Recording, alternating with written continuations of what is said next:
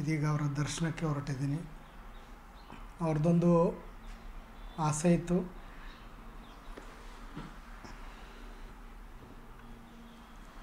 ಅಧಿಕೃತವಾಗಿ ಒಂದು ಸಾರಿ ನಮ್ಮ ಮಠಕ್ಕೆ ಭೇಟಿ ಕೊಡಬೇಕು ಅನ್ನೋಂಥದ್ದಿತ್ತು ನಾವು ಕೂಡ ಒಂದು ತುಂಬ ಸಡಗರ ಸಂಭ್ರಮದಿಂದ ಆಹ್ವಾನ ಮಾಡಬೇಕಂತ ಇದ್ವಿ.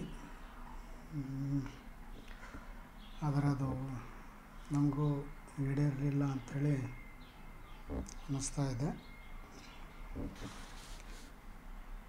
ಆ ಒಂದು ಕೊನೆ ಆಸೆ ನಮಗೂ ಕೂಡ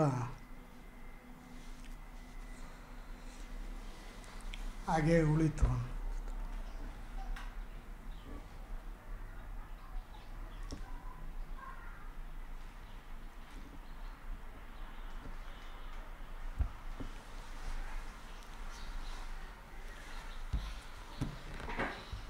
ಮರೆಯಕ್ಕೆ ಆಗದೇ ಇರೋಂಥ ಒಂದು ಘಟನೆ.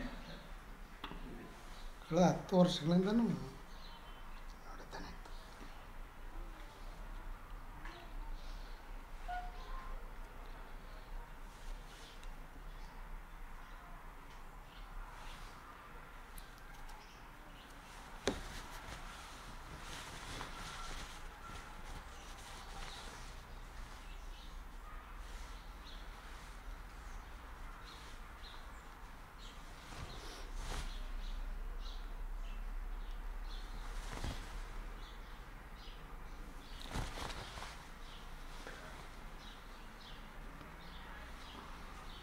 ಪಾದಯಾತ್ರೆ ಅಲ್ಲಿಂದ ಆರಂಭ ಆಯಿತು.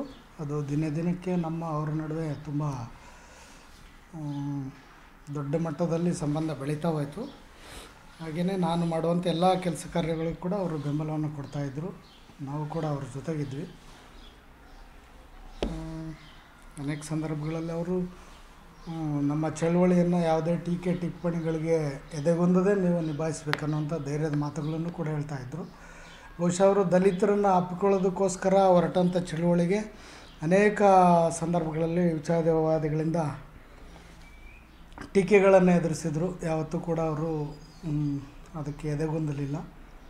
ಆನಂತರದ ದಿನಮಾನಗಳಲ್ಲಿ ಒಂದು ಕಡೆ ದಲಿತರನ್ನು ಓಲೈಸೋದು ಅಂಥದ್ದು ನಾಟಕೀಯ ಬೆಳವಣಿಗೆ ಅಂಥೇಳಿ ಕೆಲವರು ಮಾತನಾಡ್ತಾ ಇದ್ದರು ಮತ್ತು ಕೆಲವರು ಇವರು ದಲಿತರ ಬಗ್ಗೆ ಹೆಚ್ಚು ಕಾಳಜಿ ವಹಿಸ್ತಾರೆ, ಅವ್ರ ಕಾಲೋನಿಗಳಿಗೆ ಹೋಗ್ತಾರೆ ಅಂಥೇಳಿ ಅವರ ಮಠದ ಸಂಪ್ರದಾಯಸ್ಥ ಭಕ್ತರ ನಡುವೆ ಒಂದಿಷ್ಟು ಅಸಮಾಧಾನ ಇರ್ತಾಯಿತ್ತು ಈ ಎರಡರ ಮಧ್ಯೆ ಅವರು ತುಂಬ ಕೆಲವು ಸಂದರ್ಭದಲ್ಲಿ ನೋವು ಪಟ್ಟಿದ್ದರು ವ್ಯಥೆಯನ್ನು ಪಟ್ಕೊಂಡಿದ್ದರು ಆದರೆ ಇವತ್ತು ಅವರು ಇಲ್ಲ.